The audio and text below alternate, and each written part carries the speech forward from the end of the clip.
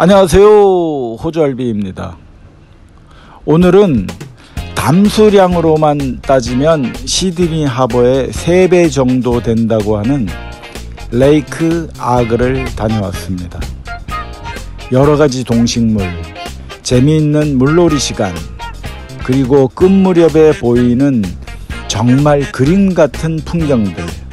오늘도 끝까지 놓치지 말고 시청해 주시기 바랍니다. 자, 할비의 호주 일주 시작합니다. 지형이 아주 많이 변했죠? 소설 어린 왕자에 나오는 바오밥 나무도 많이 눈에 띕니다. 이제부터는 서부 호주입니다. 서부 호주 중에서도 서북쪽 지역인데 이곳은 계곡도 많고 볼거리가 아주 많아서 관광 시즌에는 아주 많은 사람들이 몰린다고 해요. 그럼 잠시 구경해 볼까요?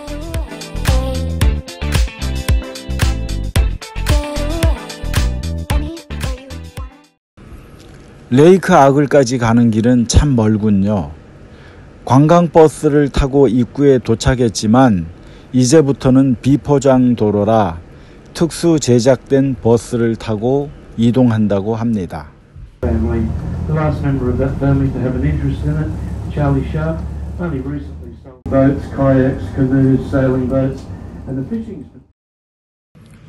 드디어 레이크 아글에 도착했습니다. 지구 남반부에 인간이 만들어 놓은 구조물 중 가장 규모가 크다고 하는 레이크 아글. 기대되시죠? 자, 그럼 시작하겠습니다.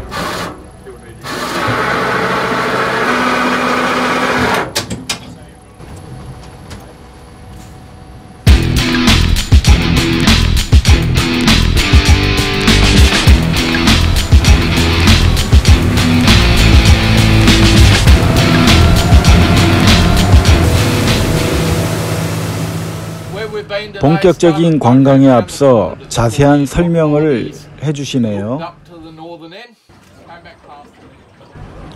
가이드는 이 점을 아주 강조했습니다. 비록 인간이 옛 형태의 모습을 받고 호수를 만들어 놓았지만 자연과 동물의 어떤 간섭도 하지 않았다는 것.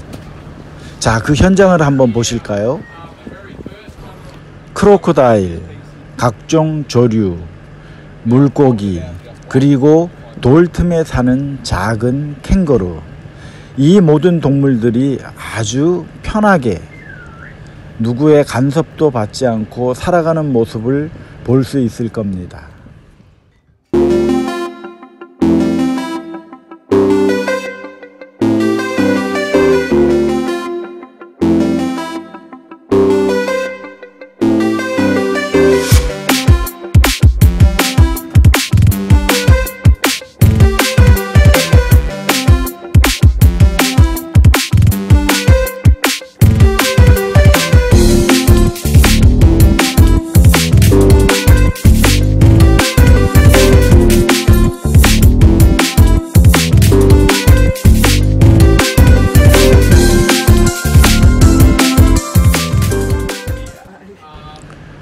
잠시 틈을 내서 계속 가이드는 이것저것 설명을 해주고 우리는 경치를 보느라 시간 가는 줄 몰랐습니다.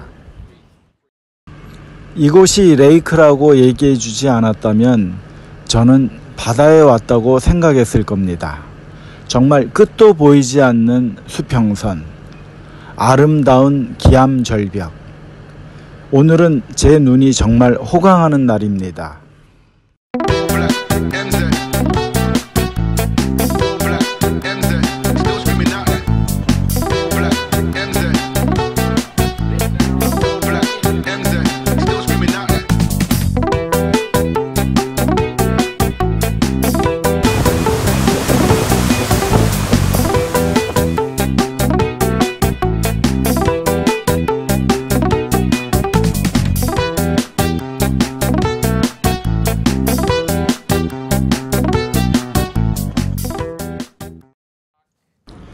이제부터는 아주 재미있는 체험 관광 시간입니다. 오늘 뭐 하세요?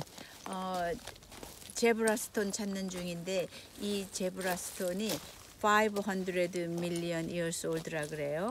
그래 갖고 보이지요? 요렇게 요렇게 됐고 요것도 요렇게 됐고 지금은 좀 더 큰 거를 찾으려고 제가 노력하고 있어요.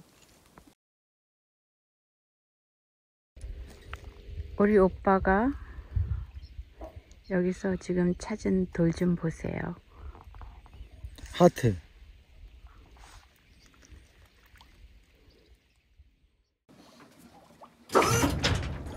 경치도 보고 체험 관광도 했으니 이제 물놀이를 할 시간입니다.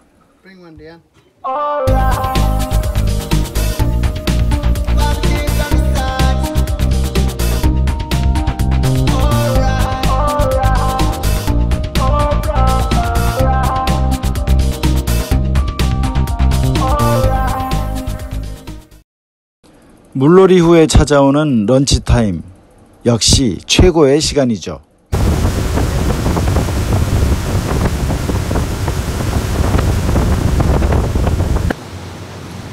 오늘 영상의 하이라이트 시간입니다. 이때가 오후 4시쯤 됐는데 눈에 보이는 모든 것들이 한 폭의 그림이었습니다. 자, 한번 보실까요?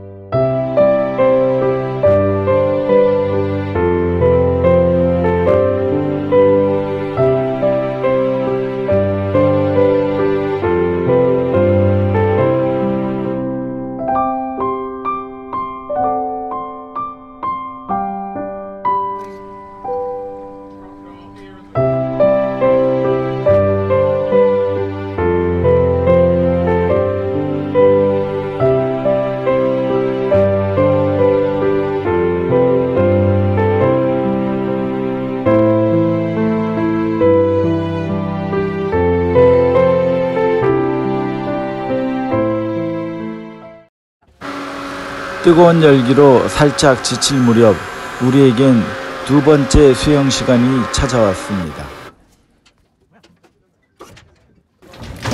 우리의 첫 번째 주자는 크로코다일에게 공격당하는 모습을 아주 퍼펙트하게 보여주었습니다.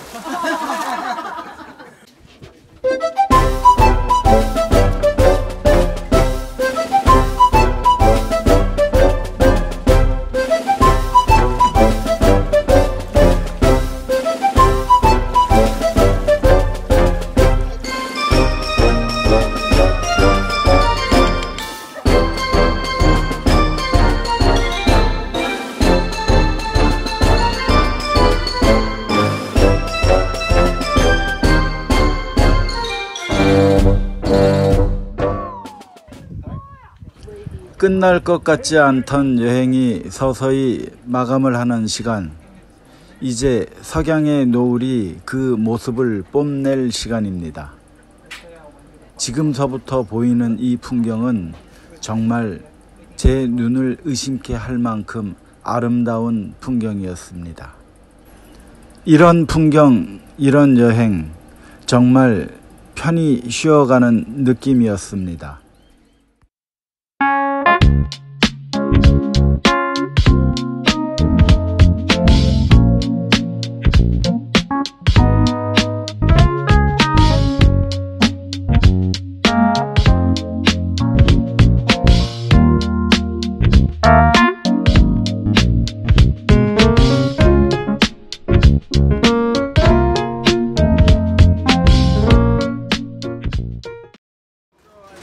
어때요? 오늘 영상도 재미있으셨나요? 저는 좀 더 멋진 영상으로 찾아뵙겠습니다. 감사합니다. 안녕히 계십시오.